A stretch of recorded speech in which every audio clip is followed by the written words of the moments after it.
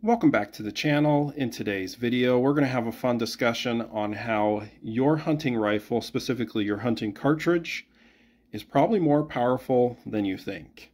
So how is that possible? Well, we're going to talk about it. It really depends on your location and more specifically, your elevation.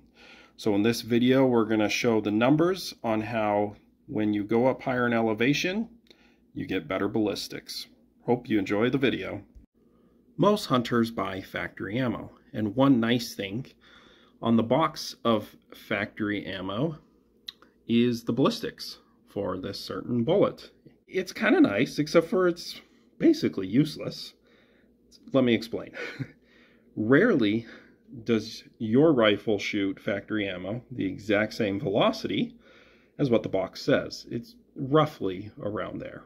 For example, I've shot this in my brother's 30-06. His rifle was shooting in an average of 2,697 feet per second. So not as fast as what Federal says you can get. Now, why is this information kind of useless? Well, you really need to know your elevation and your temperature to really get accurate numbers. So yes, depending on your elevation, you can get better performance. And the industry standard for the ballistic data and what I've always done, because it's kind of the industry standard and the baseline, is to do the ballistics at sea level. So all of the data you find on factory ammo is going to be at sea level. And then when you go up in elevation, the air gets thinner and there is less drop. And because the air is thinner, there your bullet will not slow down as much, putting it into really uh, dumbed down explanation. So when you're at higher elevation, your bullet's going to keep its velocity for farther out and your energy is going to go up and you're going to have less drop.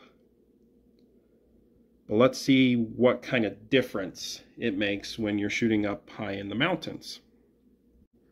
With elk season upon us and my personal elk hunt two weeks away, I thought I would use two elk cartridges as examples. So on my left is my personal hunting load in my 300 Weatherby. It's a 200 grain AccuBond. On the right is my friend's 30-06 loaded with the 168 grain TTSX. Let's first get the baseline. We're going to start with my personal hunting rifle with the 300 Weatherby, 200 grain AccuBond, BC of .588, uh, muzzle velocity of 3,100 feet per second, 4,268 foot-pounds of energy. And at sea level, we're just going to go out to 400 yards. It's going 2,472 feet per second. And the energy is very good 2,714 foot-pounds. And the drop's not bad at all either for how big the bullet is 21.7 inches. Now let's see what it is when we adjust for elevation at where I hunt 9,000 feet. Okay, now the adjusted BC is very interesting. So since we are at 9,000 feet, the BC adjusts to 0.825. That's pretty sweet. Now the muzzle velocity is obviously going to be the same and the muzzle energy is the same, but check out the difference though as we go out to 400 yards. The bullet's going 2,643 feet per second, almost 200 more feet per second faster. And that energy, almost 400 more foot-pounds of energy. 3,103 foot-pounds is insane at 400 yards. And then the drop, um, not a huge difference, about an inch. But yeah, I just wanted to show you one more ballistic chart. I understand a lot of you are not shooting big magnums like a 300 Weatherby. Uh, this is my friend's 168 grain TTSX load and it's 30-06. I know a lot of you shoot 30-06. So it, it has a pretty humble BC at sea level, 0.470. Now he's got this thing going pretty quick, 2,930 feet per second. Pretty darn good energy at 3,200 foot-pounds. At 400 yards, it's going 2,184 feet per second, 1,780 foot-pounds. Decent. And 26.5 inches of drop.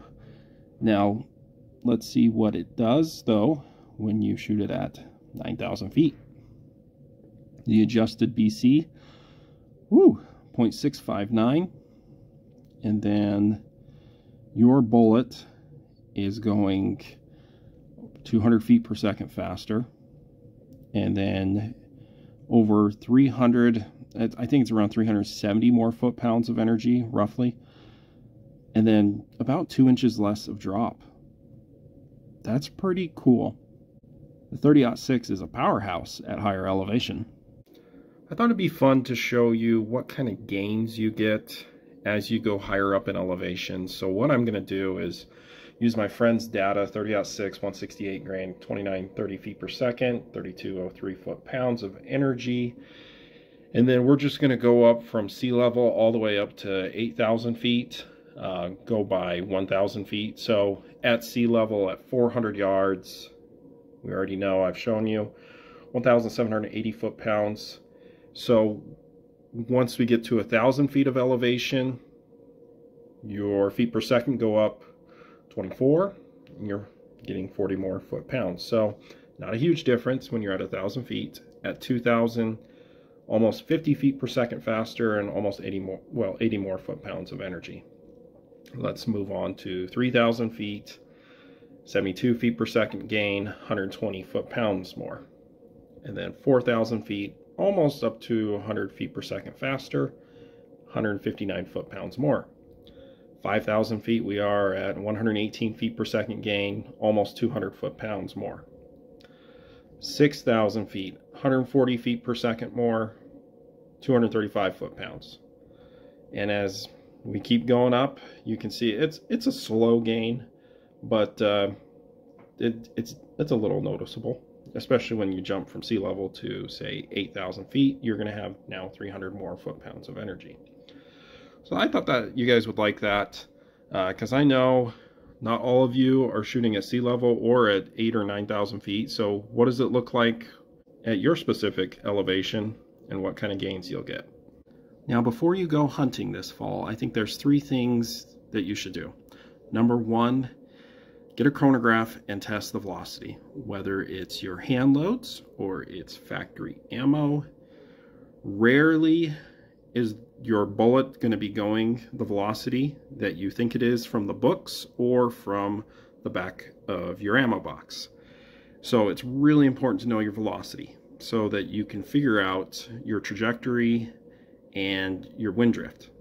The next thing, you really need to know your elevation. This one's not hard, but as I said earlier, the ballistics on the back of the box are kind of useless if you're at 4,000 feet and it's at sea level, or even if you're at like 10,000 feet, uh, you're going to have much better ballistics. So know your elevation. And lastly, I didn't really get into this, that's my bad, but uh, know your temperature. Uh, the temperature also affects. Uh, the colder the temperature, uh, the more drop and more drag you're going to get with your bullet. So those three things, know your velocity, know your elevation, and know your temperature. Guys, have a great hunting season and best of luck to you.